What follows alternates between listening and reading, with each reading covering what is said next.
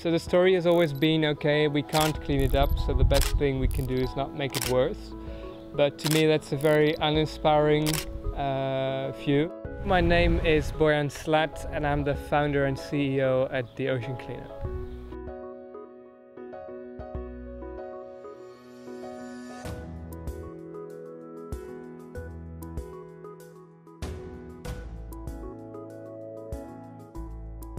Days of sailing from civilization. You almost never come across boats or things. It's just you there alone with the plastic and just come ac across plastic so regularly. It's quite a weird experience in the middle of nowhere. The Ocean Cleanup has developed world's first feasible technology to clean up almost half the Great Pacific Garbage Patch in 10 years time.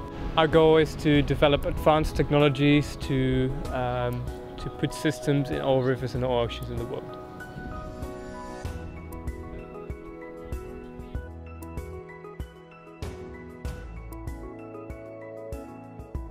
We have in the water what we call the multi-level trawl, which were developed by some engineers that we have at the Ocean Cleanup.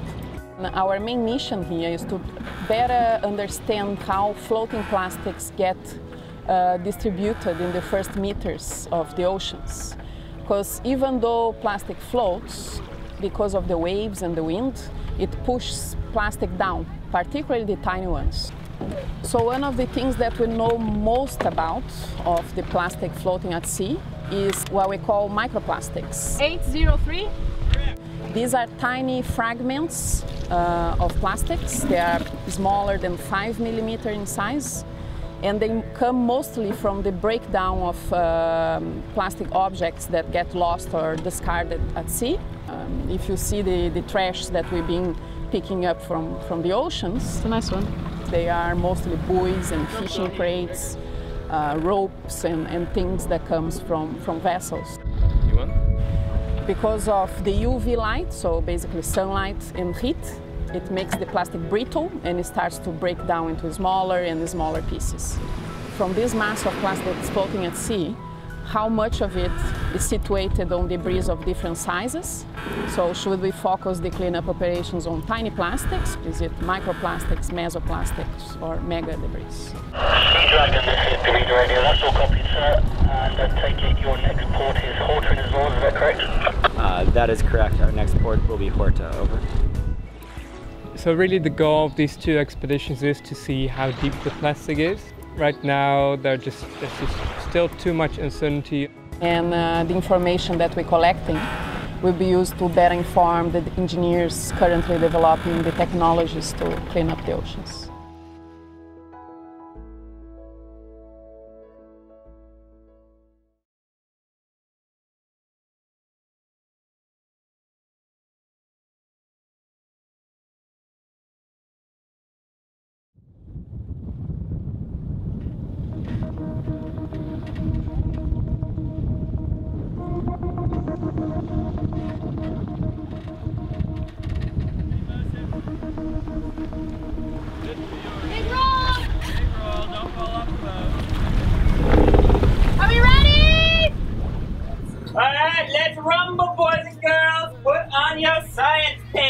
Right in the pit.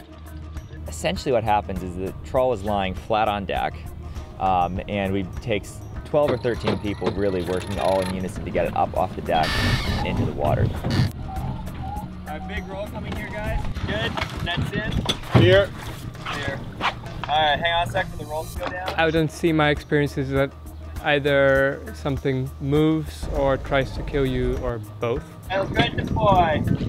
Alright, let's go ahead and down and back with it. And then ease it back out so it's towing far enough aft that it tows at the right depth.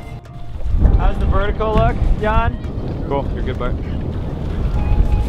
Alright, another hour. Go cook some lunch. We were doing a multi-level trawl, which is about a five and a half meter long aluminum ladder frame with 11 nets spaced down it that sits vertically in the water. We're getting uh, 11 measurements of ocean plastic concentrations, and this way we get a high resolution depth profile of plastic pollution into the garbage patch. Yep. Alright, go ahead and start pulling, Bart, in case.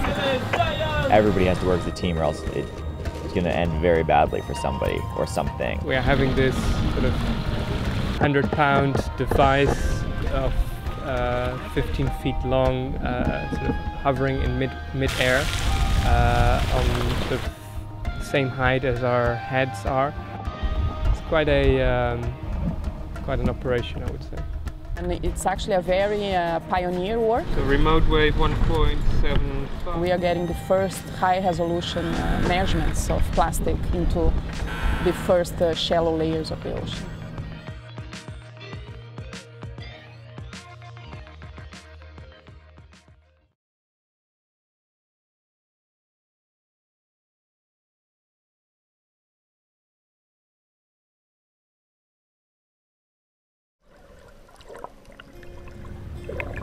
The first time I really saw any plastic pollution out at sea, um, it surprised me how powerful it was to see that. It's really hard to wrap your head around how you can be thousands of miles from land and here you go seeing a light bulb floating by, an intact light bulb, or buckets or buoys or toothbrushes or whatever it is. There's, there's an unbelievable amount of just trash floating in the oceans. The plastic is creating a, an artificial environment for species that didn't occur here to come and uh, inhabit an area that before was mostly blue and with only a few oceanic species. That's good eating right there. Oh, wow. No, mahi.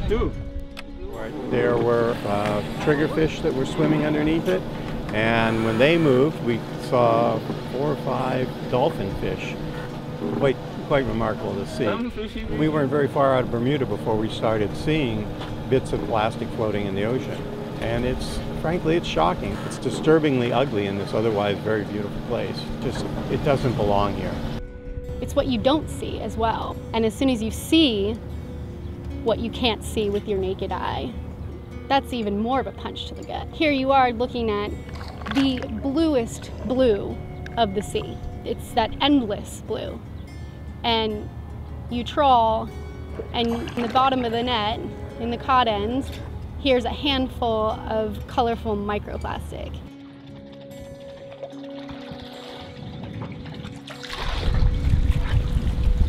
The highest we ever got.